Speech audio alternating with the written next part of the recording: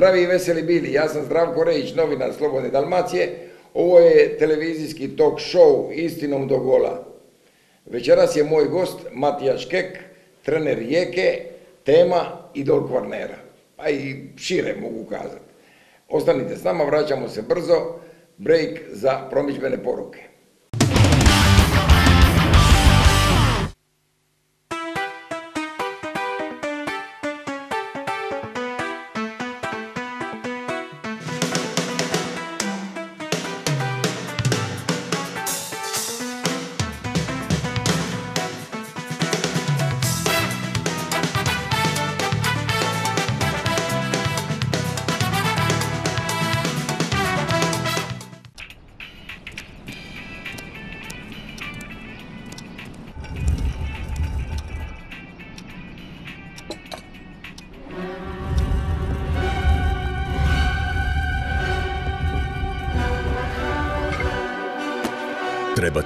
Stambeni kredit? Stisnuli smo kamate, tako da vi ne morate svoje kvadrate. Otkad poslujemo sa Splitskom, ostvarili smo sve svoje želje. Splitska banka. Slavimo 150 godina Societe General Grupe. Kad poželiš more, Adriatic Queen, sardina iz postira,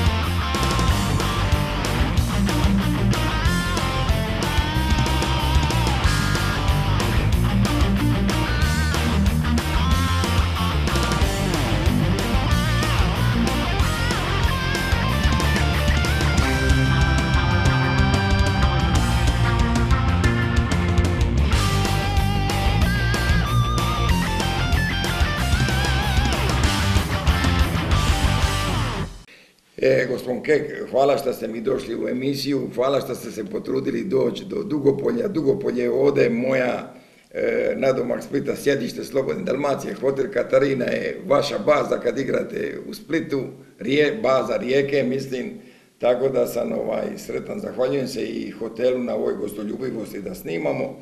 E, odmarate se u Sukošanu.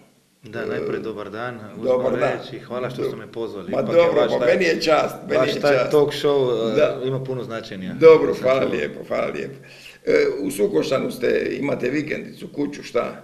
Nemam, imam jednu nekretninu, tako da mogu pobjeći kad zagusti, a Je. i tako je malo izvan rijeke. Kako ste pali tamo u Sukošan iz, iz Slovenije? Prijatelji me naveli, prijatelji Da. me naveli, pogledali i Da. stvarno se dobro osjećam i, i familija je dobro, Da. malo je, malo je iza brda, tako kako se kaže, pa je malo manja gužva i to sve skupa. Slatki Zado- odmor, Zadovoljan sam, zadovoljan. slatki odmor sada posle osvajanja kupa, fantastična sezona. Je, ali je kratak, on sve Kratak kratko je bila sezona prava, a sezona za, za odmorice, ali ono onako kad si u no, jednom u nogometu, odmah ti vrlo brzo ti misli bježe prema novoj sezoni, Da. a evo nova sezona je pred vratima. Da, pa ne može se, ne može se bez toga, ne možeš ovaj, zaboraviti, moraš misliti šta će biti, kako će ja biti. ne znam, ja ne znam, ja ne, ja ne znam da li to ide da i šaltaš ili ušaltaš nogomet. Ne, ja mislim da ako je nogomet u sebi, u tebi usađen, da je onda to možda samo manje intenzivno ili ona intenzivnost koja naraste sa treningom, sa priprema, a naročito sa utakmica. Ove godine su pripreme, se poklapaju sa svjetskim prvenstvom, jel tako? Da. Je li to isto motivirajuće to svjetsko prvenstvo dok igrači su na pripremama pa gledaju utakmice, valjda? Pa ja ne znam da li je to loše ako, Nema, ako, ti je dobro. u pet treniraš, a ne znam kako, kad se utakmice u sedam gledaš Hrvatska-Brazilija. Ako to nije a, neka inspiracija, ako to nije motiv da si bolji, da si još koncentriraniji u treningu, da i još više guraš naprijed, onda ja ne znam. Ja mi sigurno bolje igrat i gledat nogomet nego neku seriju ili neku limunadu. Ili kartac, jel tako? Pa dobro, karte su sada sve manje prisutne kod tih igrača i tu se promijenilo. Oni sada tu sjede na tim telefonima Da. i luduju po tim telefonima, komuniciraju sa telefonom i sa prijateljima. Da. Čudan svijet. Da, je li? Ma, e, je li mislite vi da oni, e, gledajući utakmice, mogu naučiti stvari? A šta ja mislim, to je sada možda a, nije toliko relevantno i bitno. Bitno je oni, da li oni vide.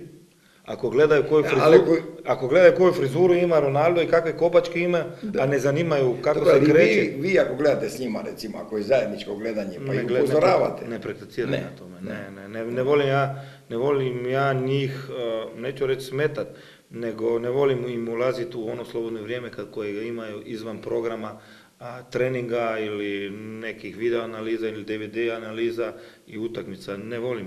Igrači kod mene imaju slobodu, imaju tu slobodu, ali ja zato od njih tražim odgovornost za tu slobodu. Da. Neću da budem policaj, da se šunjam između uh, po hotelu, Da, da. ne, ne, to mene ne To zanima. je, Nije to je, ne, ne, to to mene je svoje zanima. vreme radio Branko Sebecov. Ne znam ja, ali to mene ne Prisluškiva iza vrati u ko šta govori. Možda ima i to sada tako, Da, mene to ne da. zanima.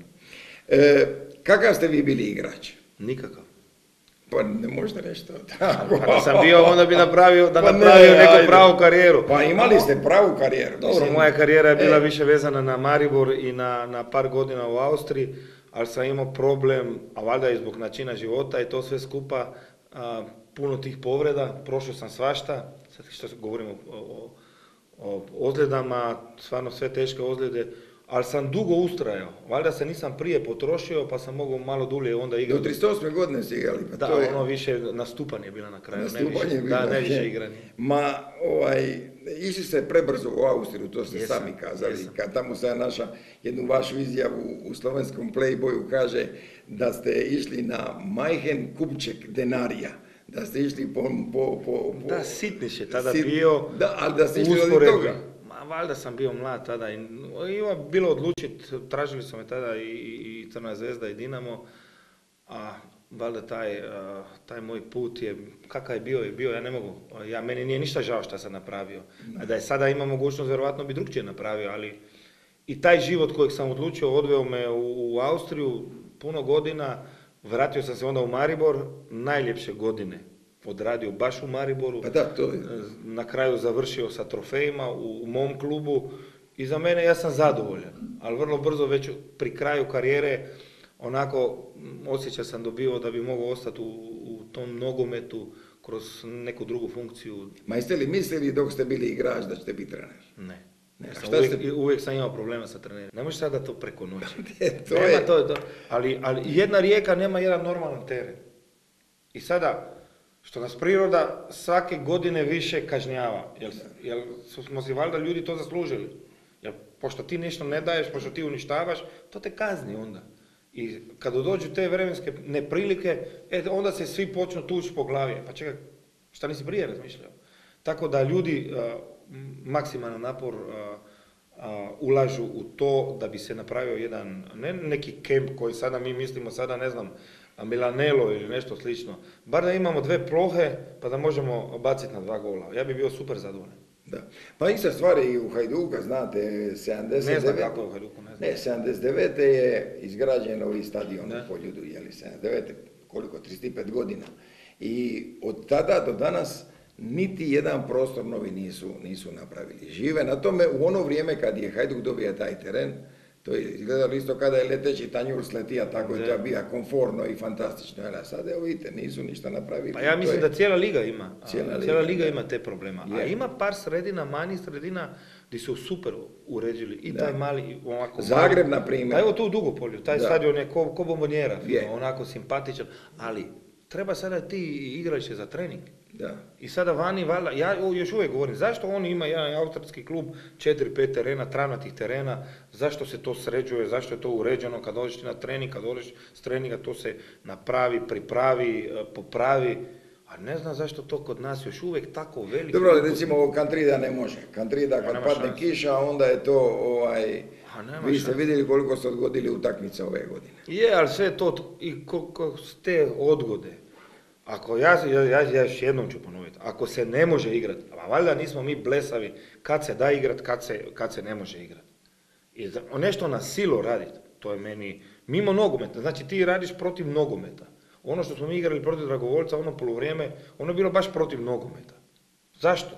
I tako na kraju kraja bilo i u Splitu, ona jedna utakmica koja se sjeća, ja ne znam tačno koja je bila, ona je bez veze, ona ne, nemaš kao trener, igrači nema ništa od toga, gledalci, takih takih nema, onda još moraju to mučenje gledati, bez, bez rezona. Da. Kad ste bili igrač, jeli, imali ste niz trenera, koji su treneri ostavili vam, na vas neki utisak poseban, da ste vi sad kao trener sjetili se, razgovarali, razmišljali? Jeste ste imali nekoga, neki primjer? Ne, par je trenera bilo koji su mene vodili kroz uh, karijeru. I uh, sa jednima sam bio igrač trener, sa drugima sam bio igrač i prijatelj i, i trener onda taj. I Ostali, Kako to može biti igrač? Može, može biti, može biti, može biti. Koji te vodi na kraju ne samo na terenu, koji te voži, vodi sa nekim stvarima iz, između iz, kad, si, kad izađeš terena. Koji su to, na primjer? Pa, gledajte, ja ću zadržati taj, taj imena zbog, za sebe, jer ti ljudi su i danas sa mnom.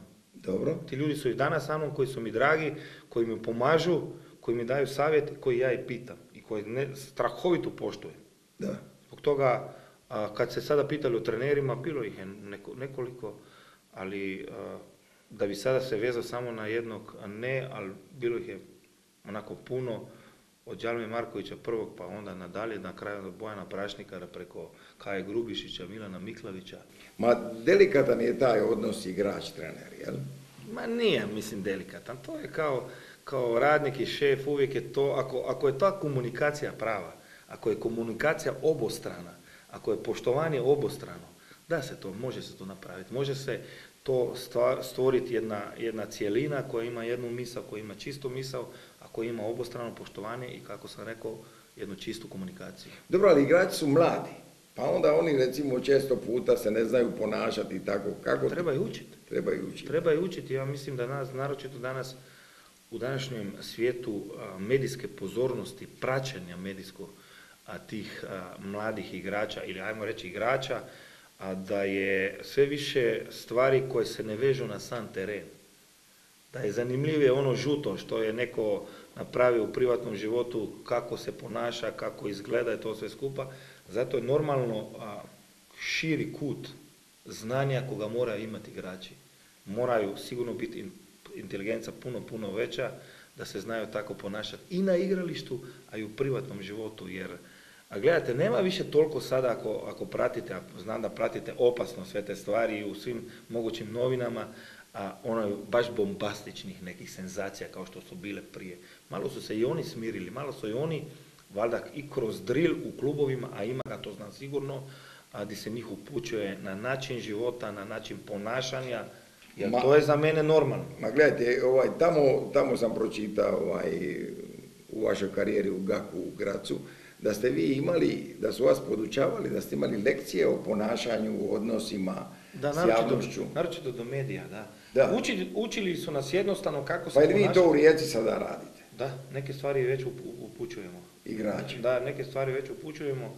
Naročito one mlade igrače, mladi igrači koji su došli u sredina gdje medijska pozornost nije bila tako velika, pa može u nekom trenutku to predstavljati nekom preveliko opterećenje. A neko ima strah od govora, neko ima strah od pogleda, neko ima strah od gestikulacije. Da, ili od mikrofona. Ali to su sve stvari koje oni moraju proći da. ako govorimo o kompletnom igraču, a danas prolaze samo kompletni igrači. Da. Kažite mi, jeste li prebrzo postali trener? Jesam. Jesam. Jeste uzeli Maribor? Jesam, prebrzo, prebrzo se sve dogodilo. Sigurno bi mi bilo bolje jedno dvije, tri godine još usavršavati se, učit, tražiti put, razmišljati o koji nogomet je to za mene koga bi sada ja želio prenesti na moje igrače. Ali kako se dogodilo, ti neki put u životu ne možeš utjecati na taj svoj životni put. Bojan Brašnikar je otišao, bacili su, mi, bacili su me u to, u taj žrman tog nogometa, znači vrlo brzo sam iz Kopačke otišao sjeti na klupu, i zato sam imao i probleme. Bio sam još prepametan, mislio sam da je jedina moja pamet ona... to je ona, ona e, to je onda opasno. A i onda dobiješ po tintari, ogušiju, i onda počneš onako razmišljati, sređuješ dojmove, sređuješ misli, tražiš puteve i onda se polako smiriš i onda dođe na svoje, kako ja kažem. Ali ako, ja sam uvijek rekao i sad sam neki dan isto izjavio, ako ti ne znaš biti dobar u porazu, veliku porazu, nikad nećeš biti velik u pobjedi. Nikada, to je što je meni život naučio. Da. Ma, e, došli ste tamo vi kao trener Maribora u sukob sa navijačima, jel? Jesam. E, a oko čega je to bilo? Pa bilo, bilo je neko razmišljanje, moja razmišljanje drugčije od razmišljanja navijača, ja sam pozvao njih, prozvao, oni su se e, na to odazvali, Viole, to je Viole. normalno. Da, jedna sjajna navijačka skupina, jedna e, skupina a, koji stoji iza kluba, koji daje energiju tom klubu, koji nosi taj klub, koji je mene nosio kao igrača, kao trenera i poslije kao izbornika. Bilo je malo diskusije, bilo je malo natezana, hoćeš, nećeš, ali danas je to jedno veliko poštovanje jedan do drugog. Ja dugo nisam onda poslije toga išao u ljudski vrt, ali kad sam došao sljedeći put kao izbornik Slovenije, ja sam osjetio da ipak to poštovanje još postoji, da je ta, da taj feeling koga ti dadu navijači, koje na kraju krajeva ti njih, njima daješ, da to to je. Ali bili smo svaki na svojoj strani, ja sam rekao, valjda sam bio tada još prepametan a, u navodnicima Dobro. I, i, i u razmišljanju da jedina moja a, riječ je ona prava, jedina moja misao je ona prava. Neki put moraš stat malo na loptu, osluškivati. Zato vi imate te vaše ljude, prijatelje, savjetnike s kojima razgovarate i osluškujete. Pa normalno, i normalno da imaš jedan krug, krug ljudi koji te upozore na stvari koje nisu dobre, jer znate sada kad dva, tri puta pobjediš, pa kad se stvori neka euforija rezultata, brzo se može to poletiti. E onda kad tresneš na pot, onda je to toliko teže. Zato ne volim euforije, ali ne, ne volim i kad se prave tragedije, to sve skupa. Želim onako neka normalan odnos, ali ja- ljudi kojima možeš a, vjerovati i koji ti su ti stanu iza tebe i koji tu upute u sve to skupa, možda su to čak najdragocjeniji ljudi koje imaš oko sebe. Evo, sad je prekid zbog propagandnih poruka, zbog promidžbenih poruka. Ostanite s nama, vraćamo se brzo. Comfort Zone Wellness and Spa Atrium Hotela. Za vaše bolje zdravlje, kondiciju, ljepotu i kvalitetu života. Sa zatvorenim bazenom, finskom saunom i turskom kupelji, knajpom, fitnessom, tretmanima za uljepšavanje i opuštanje, te frizerskim salonom. Pruža vam kompletnu njegu tijela i duha u centru Splita. Nazovite 200 390. Postanite član Comfort Zone Wellness and Spa centra Atrium Hotela.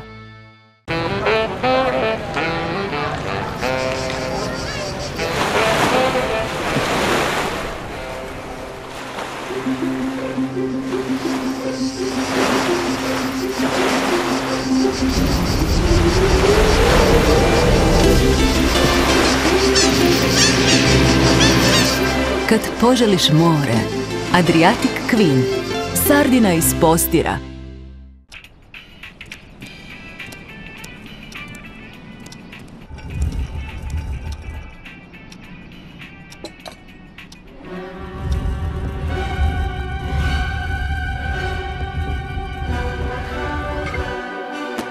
Trebate stambeni kredit? Stisnuli smo kamate, tako da vi ne morate svoje kvadrate. Otkad poslujemo sa Splitskom, ostvarili smo sve svoje želje. Splitska banka. Slavimo 150 godina Societe General Grupe.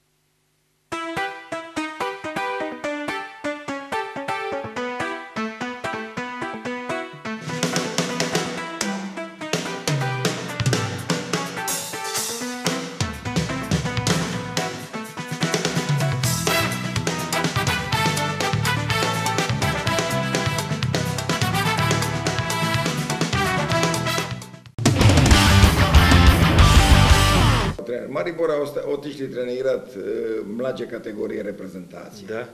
Je li to neizostavni put? Jer recimo mnogi sad treneri, ko, veliki igrači koji završe karijeru, odmah uzmu prvu momčad, odmah uzmu reprezentaciju. Mislim, je li vam to pomoglo u, u svom razvoju? A, Sigurno da da, sigurno da da. Iako ja opet bi tu rekao, neko ima priliku, neko dobije priliku odmah uskočiti u, u seniorski e, nogomet, pa iskoristi dobro tu priliku. Ne? Ima primjera takvih i onakvih.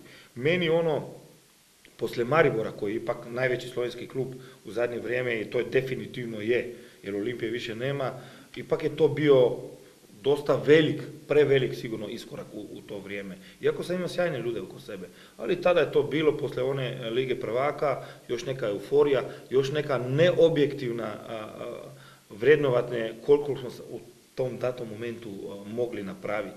Pa su neke ambicije bile i malo preizraženije. Ali nije loše a, ući u trening, u sistem treninga, u način treniranja sa mlađim kategorijama. Iako ja o mlađim kategorijama sada a, govorim tamo Ja mislim da ipak kadeti i juniori su ta, ta donja granica, kad se već počne i danas ozbiljan nogomet igrat, kad su to igrači već sa kojima možeš nešto poraditi i na taktici, i na organizaciji, i na sistemu. Jer ono, kad igraš sa, sa, sa ipak sa mlađim još, onda to više kroz igru, a to je onda drugčija kategorija nogometa. Kad ste došli u Rijeku, kako ste to prihvatili? Kako oni su došli kod vas u, u veljači 2013. Ovaj, vi ste bili neko vrijeme bez posla, bili ste u Alitihadu i bili ste kući, odmarali se. Zašto ste prihvatili Rijeku? Radi novaca? Pa ne znam, meni, i za mene je stvarno bila ona sjajan dio mog života kao izbornik slovenske reprezentacije. Dobro, to je bilo odlazak, fantastično 2010. Da, odlazak, na svjetsko prvenstvo, pa ne samo samo jedan rezultat, na primjer, koji je fenomenalan, sigurno. Ne, kompletna kampanja. Je? Kompletno događanje u društvu, u državi, u Sloveniji. Mi smo digli Sloveniju na noge, tada to je bilo stvarno jedna čista emocija. Ja sada govorim otvoreno, imao sam sreću biti igrač, postajati prvak, usvojati kup kao igrač, kao trener u svom rodnom klubu, u svom rodnom gradu, u svom klubu. Onda sam bio izbornik u svojoj državi i s tom državom, sa tom reprezentacijom sam išao na svjetsko prvenstvo. Znači, to su već jedne, sada malo veće stvari, ili neka emocija onog domaćeg kraja, onako, nad, naboj koji ti daje izbornička funkcija. A ovo, za Itihadom, ovo je možda najinteresantnije, taj fakulteta koji ja govorim da sam napravio, tek fakultetu sam za mene nogometno završio kad sam otišao u Arabiju u Džedu i, u Itihadu, jednom velikom klubu, jednom gigantu a sa, tog, sa tih prostora, gdje sam ja otišao, ušao u svijet koga nisam poznavao, za što nisam bio spreman, gdje sam ja prvi put počeo vidjeti kako je to biti i iza nogometa sve te stvari koje bi trebao pohvatiti da bi bio uspješan. Brzo sam tada završio tamo moju avanturu, vratio se. A, i onda... Jeste li dobro zaradili makar? Ma zaradi se tamo, da, pošteno se plaća, da. Pošteno se plaća, a šta je meni možda malo veća sreća da se mi isplatilo sve.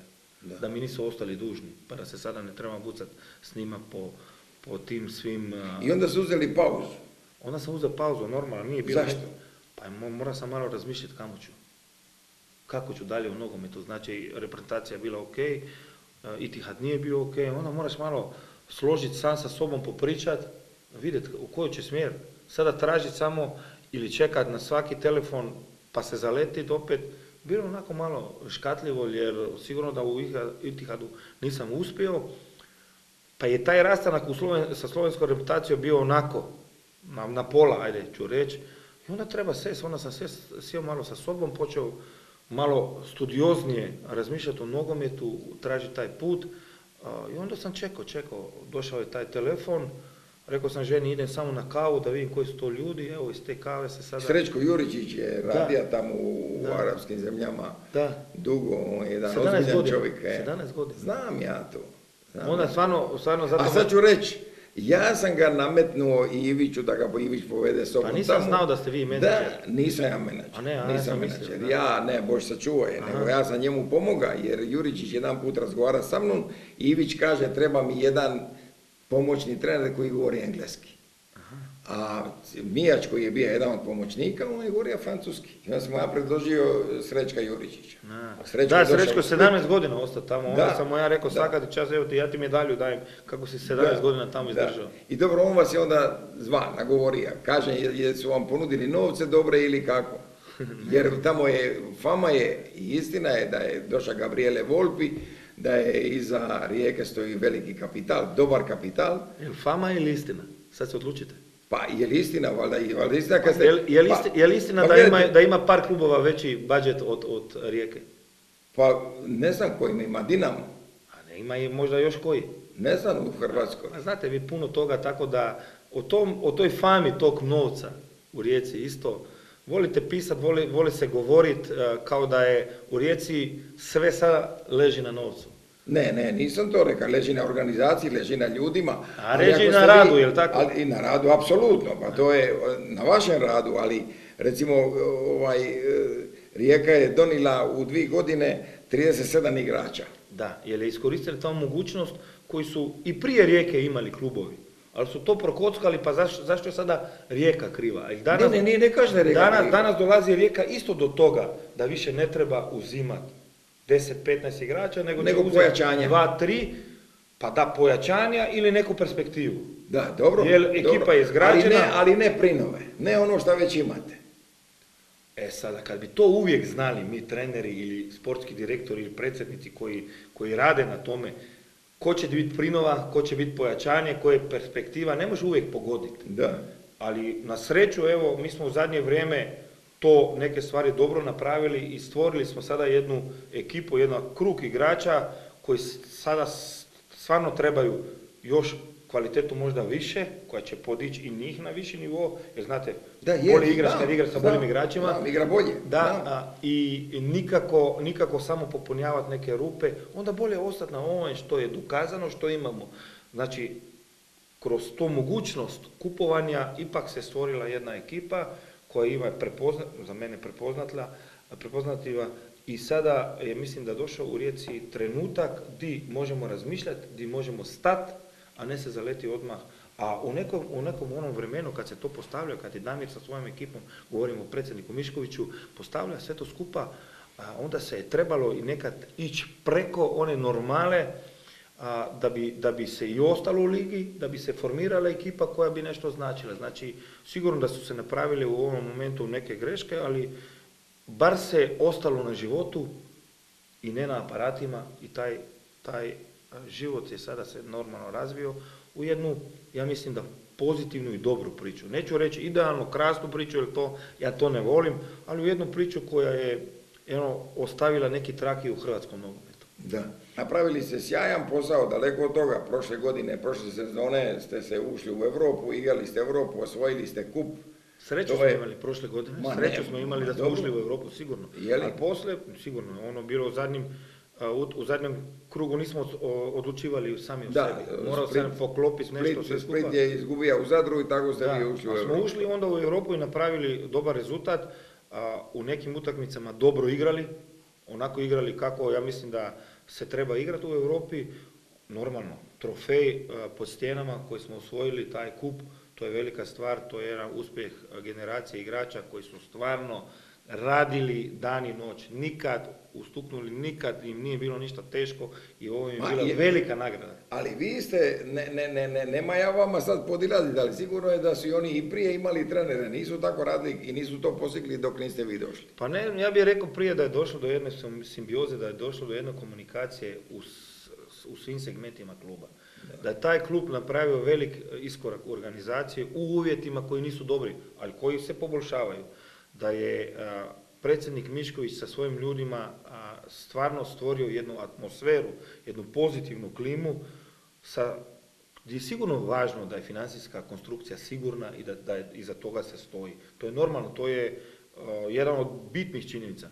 Da je stvorio ekipu, da je doveo igrače koji su sposobni sve to skupa napraviti. Jer novac i sve to skupa i trener i ne znam kad ti nemaš igrača koji će slijediti tvoju ideju. I ti igrači su išli za tome i valjda su i oni prepoznali da bi se moglo njima nešto dobro napraviti i oni su svu svoju individualnu kvalitetu koju imaju, koja je ne- sigurno neupitna, stvorili u službu kolektiva. I zbog toga je na kraju nije bilo važno da li fale Knežević, da li fali Maleš, da li fali onaj, drugi, treći, a imali smo previše problema kroz sezonu, nego je uvijek Rijeka igrala. Ta Rijeka, ja mislim da je na kraju došla do tog rezultata. Dinamo je apsolutno zasluženo pr- prvi i e, dobio prvenstvo sa velikom razlikom, a evo u tom kupu, u toj jednoj, dvije utakmice, tu se može svašta učišariti. Kako tumačite ono 0-4 u Zagrebu, pa onda poslije toga ste pobijedili? trenerova greška, trenerova greška koja je na kraju donela i nešto dobro. Ne možeš i ti u 56 utakmica da ne napraviš, da ne pogrešiš u 5, 6, 10 utakmica. Da uvijek pogodiš sastav, da uvijek pogodiš kako treba igrati. To, skupa. to je bila jedna utakmica koja meni otvorila oči, koja je malo poljuljala sve u klubu, jer su se onda malo bojali. E, sad šta će se sada do, do, Ali taj strah je... ali je to bilo, ali je to bilo, ali to je bila koncentracija, to je bio još možda jedan dodatan motiv. Ajmo pokazati da nismo tako loši, da ipak ono 4-0 je bilo i puno onih a, slučajnih gola, neću reći slučajnih gola, nego ono, ko što se ti dogodi, tri prekida, tri gola, tako da ja nisam u tome vidio problem jer prvenstvo je za mene bilo tak i tak. Ali Matijaš, imali ste hendikep jedan veliki e, za jednu normalnu ekipu, da je Benko koji je da 23 gola u pola prvenstva otišao, u Kinu. Ja sam im rekao da, da sigurno kao trener se nisam slagao sa načinom na koji je on otišao ili sa tajmingom. noći. Ili sa tajmingom, ali to su stvari ljudi u klubu i kod nas, bar u Rijeci, se zna ko za šta odgovara i što, ko šta ima da radi. Ako su tako odlučili, ja kao trener reći ću šta mislim, ali ja sam to prihvatio kao činjenicu i kad je on otišao, sljedeći dan je meni jedina preokupacija su mi bili Krstanović, Kramarić i oni napadači što su mi ostali. Malo smo modificirali i na kraju je dobro e, ispalo i sada je lako reći da su ljudi bili u pravu, Rijeka je nešto zaradila, zaradio igrač koji je već u tim godinama gdje ih se voli nešto zaraditi, a i način na koji je Rijeka nastavila taj put, a, vidi se da smo mi u ofanzivi os- postali još goropadniji. Na kraju dali smo više od 100 golova u sezoni. Ma da, pa gledam ja, ovaj, ja imam tu neku statistiku, ovi 2013. godine ste, o- ste osvojili, sad da ne ulazim, ali svakako sad su osvojili 27 bodova više nego, nego 2013. Dobro, drugi sistem više je utakmica. Više To- utakmica je, ali ipak, Ali sigurno da je dobro. Kad ti osvoji 73 boda u, u jednoj ligi, onda je to već u nekim ligama, možda ni nije takva razlika, bio bi tu. 11 više od Hajduka. Dobro, to je njihov problem, to nije moj. Ja gledam prema gore, ja ne gledam prema dole. Tako da... Kakva a- je, i, i stvorena je neka koalicija između Dinama i, i Rijeke. U čemu? Pa evo recimo imate osam igrača ste dobili od Dinama. One koji su oni odbacili. Pa zašto ne bi uzeo kad je kvaliteta? Pa nije, Da. nisu nam ih oni dali. A ja bih volio i iz Hajduka uzeti nekog igrača. Kojega? A to, to, to je moja stvar. Da. Neću vam reći, ali zašto, ako ja imam mogućnost pošteno to sve skupa platiti, zašto ne bi imao igrača, e, uzeo igrača koga je neko odbacio? Pa jesu to vaši igrači e, 100%. Ne, nemaju dugova prema Ja Dinamu. mislim da jesu, iako to je više stvar za sportskog direktora, ja Da. ne ulazim i ne znam kakve imaju ugovore, kako dugo imaju, ugovore, ja samo znam da su, da su igrači koje treniram. A ta koalicija, a dobra je to priča za neke koji nisu u toj koaliciji. Jer mi može i biti neki alibi za nešto. A ta koalicija se vidjela sada na igralištu. Ja mislim da, iako neko možda i misli da je Dinamo nama pustio, da, je to bit- da su se razdijelile karte, vama prvenstvo, nama kup, da treći ništa ne dobije. Ja, moje gledanje na to, a u nogometu Hrvatskog sa godinu i pol, dobro je da je u hrvatskom nogometu se pojavio neko treći. To se slažem. A to je I četvrti bi ja bi bio. Ja bih volio da iz peti, šesti, sedmi, volio bi i volim kada imam probleme otići igrat a, protiv Splita. Kad ne idem baš lako sada u Istru. Kad je tu, ne, na, primjer, knap utakmica sa lokomotivom. Ajde da je sada i taj Osijek koji se digao, pa da Belupo, pa to će biti liga koja će biti interesantna, koja će biti dobre utakmice. Da. Ja mislim da je ta liga 10 isto. Za Jedan mene puste- dobro. Vrijeme nam brzo ide, zato moram brzo pitati. Vi ste jedan put kazali, ka jedan put, vi stalno tu sam čita, analizira vaše tekstove, kažete, nije najvažnije izabrati najbolje, nego igrače sa karakterom, najkarakternije, koji imaju u sebi pobjednički mentalitet. Pa, pa to, je, to je bit svega. Pa šta vi mislite? Je li da- vi to trenirate njih, da imaju pobjednički Pa mentalitet? ne, ja želim da pobjede, ja želim kada igraju na, na, na dva mala gola da, da, da pobjedi neko, a ne da se ono zajebavaju, da, će, da se češlju, tamo gdje se češlju nogometaši puno puta Da. i da, da im je sve jedno. Ali, jel mislite da, da jednostavno ove igrače koje je neko odbacio i oni igrači koji dolaze iz malih sredina koji me je bilo teško ili rijetko kada pobjeđivati u seriji, a, navući na to da im je svaka, To je- to je- je svaka utakmica. To je štos. To je, ma, to je ono što mene zadovoljava. Da, da, Da, slažem oni se. di Os- iz Osijeka, da im pobjedili su jednu, pa onda jedno izgubili. pa Važan onda- opstanak u ligi. A ovi, iz- ovi iz Dinama možda iz Zagreba su bili malo naviknuti, ali su bili uvijek na rubu. Nikad nisu igrali u seriji 10, 15, 20, a kamoli više utakmica. I zato ja mislim da je ta rijeka dobra priča i zato ja mislim je novac, je ta finan- financijska sigurnost, ok, Ali ali, je rad. Ne, je rad. Oni su rad. radili, oni su Da. trenirali. Pa Da. nismo mi sa novcem pobjeđivali. Da, I slažem možda da je neko slažem. kupio iza mene, pa da ne, ja ne... ma ne, ma ne, A to- nije. to ne dolazi u obzir. je li? A zato ste dobili ugovor do 2017. Nije važan, opet nije važan dogovor, uh, ugovor. Je, ajde, taj papir je potpisan i to stoji, Dobro. ali meni je važnija puno moja riječ koju sam dao predsjedniku i ljudima oko njega. Jer oni su mene tako zadužili da bi bilo sada od mene najnekorektnije i čak pokvareno da razmišljamo o nečem drugom nego u rijeci. Ja znam da neće biti uvijek tako idealno, ali meni sada da pogazim riječ koju sam dao Damiru Miškoviću, meni bi bilo, onda sam ja loš čovjek, evo ovako ću reći. Evo, zadnjih pet minuta ostane nam za razgovor sa, o reprezentaciji, ostanite s nama, vraćamo se brzo.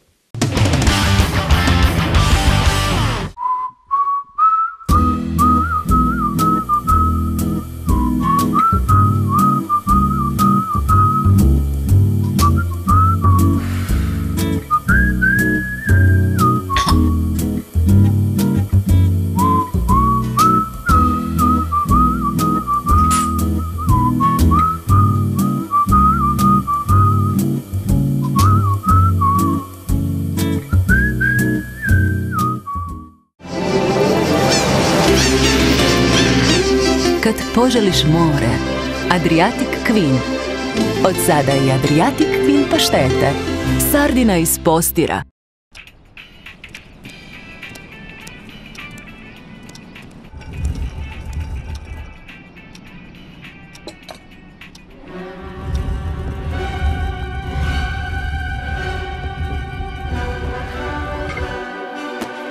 Trebate stambeni kredit? Stisnuli smo kamate, tako da vi ne morate svoje kvadrate. Otkad poslujemo sa Splitskom, ostvarili smo sve svoje želje. Splitska banka. Slavimo 150 godina Societe General Grupe.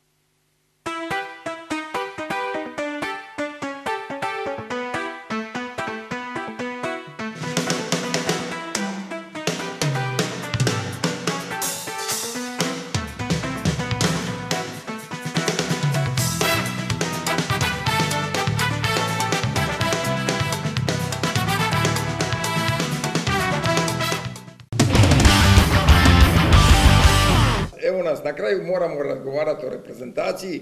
Kako cijenite šanse reprezentacije Hrvatske u Braziliju? To sada sve pitate. E, to sada svi, a normalno. sve nas zanima. E, a, e, a recite nešto.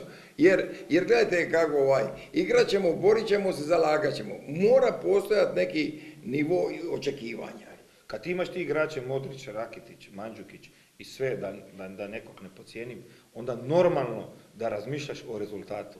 Ali sigurno da je sada hrvatska reprezentacija a, jed- u jednoj situaciji velikih očekivanja, klime koja se bitno popravlja posle promjena na, na izborničkom a, mjestu, iako ja mislim da je izbornik prije Kovača Štimac, Štimac. radio vrlo težak, vrlo težak posao i da nije bilo objektivno tada ocjenjivati neuspjeh, pošto je bila Belgija jednostavno bolja u tim kvalifikacijama. Ali ja ne, ne znam da li to vama bilo toliko teško priznat, Belgija je bila bolja, imala bolju meni, pa ne, ali, zbog toga, ali i meni je i, i Štimac je žrtvovan bez veze. Ja, Dobro, to ja ne- ja neću to Pa odlaziti. ne, ja to kažem, otvoreno, Bože moj dragi. I danas On je- je... od 18 bodova, osvojili su 16 bodova, uveo neke nove igrače, prije kad je Samira, on kad je uveo Samira, onda su svi u Zagrebu poludili i bili protiv. Sad kad Niko Kovač uzima Samira, niko se ne, niko se ne diže na zadnje noge. jer Dobro, je- ja neću ta, u to odlaziti, ja samo znam da je sada klima malo bolja, gdje je sada u jednom momentu klima bila malo poremećena,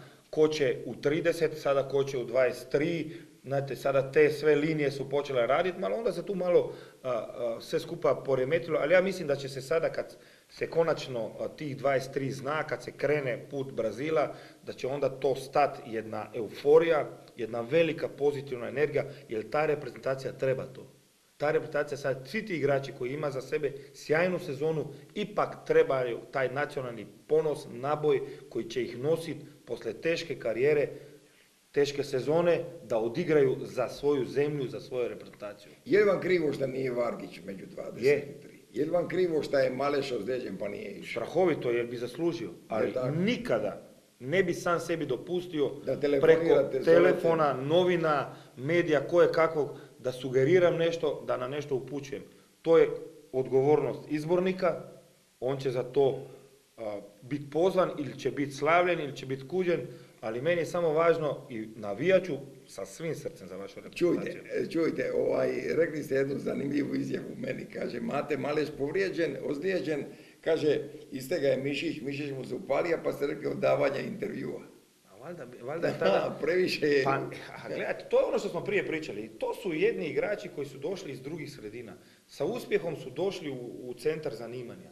A nije to lako uvijek izdržati. Ako ti ni ne znaš se ponaša u tim momentima, pa te to više sprečava nego da ti je nova, novi motiv, Motiv, nova da. želja i to za skup, onda te može to opteretiti. Dobro, niste mi rekli šta očekujete od naše reprezentacije? Da se, pro, da se prođe grupa.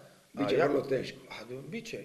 Jedino, još što sam već negdje napomenuo, nemojte se zaletiti i ne, nek se ne zalete protiv Brazila. Neka Ima. uživaju. Jer to je utakmica za uživanje. Dve milijarde ljudi će gledat. Pa to, tak i tak svi će letet.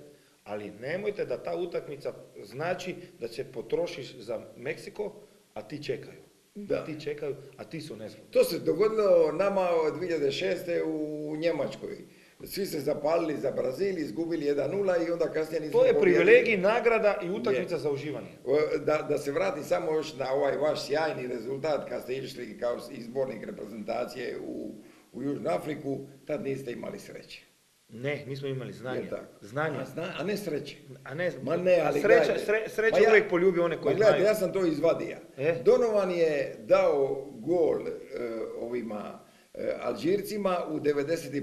minuti. Ja, ali ko je nama Da. bio kriv da smo 2-0 ispustili protiv Amerike? Pa dobro. A pa ne, dobro. Znači, ko je kriv? Dobro, A igrač. mi smo sa, mi, ne, ja. Ja, Ja, vi- igrači, svi smo skupa nismo znali zatvoriti ono što smo super pripremili. To se događa kad nemaš iskustva, kad nemaš znanja, koje je za taj nivo neophodno. A Za- danas bi drugčije bilo to se Za kraj pitanje, morao sam pitati još i ovima, ovima e, vašem poznavanju vina i da vam je mama radila, ovdje se naša u gostilni pri treh ribnikih, Je, pa da ste kući i vi često puta pili vino za ručak, mislim, je li ovaj, da... Sada u zadnje vrijeme se uvijek je vino na stolu i Da. volim, imam ne, prijatelje. ali pustimo to. Sljedeća sezona, koje, koje, šta Rijeka može uraditi? Šta mora, može, može Šta ili može? mora? Ne mora. Može puno toga, ali letvica je postavljena visoko, odgovornost moja je veća i nas i mene čeka puno, puno teža sezona, jer sada smo mi lovili, a od sada će oni nas loviti. I to je uvijek puno, puno teže. Dinamo će, Dinamo će ostati veliki favorit. Ne znam, mene Dinamo ne zanima, mene drugi ne zanima, ja gledam samo na sebe, gledam na struku, bavim se s igralištem, struka mene zanima, a da ja računam koliko će biti poslije tri, poslije tri, ško- šest e, rundi, opet ćemo crtu potegnuti. Da. Dobro. Kek, hvala vam lijepo na ovom razgovoru. Bija mi užitak. Hvala meni. Hvala. Zdravi i veseli bili. Ovo je bio Matija Škek, idol Kvarnera. Ja bih rekao, može se kazati hrvatskog nogometa.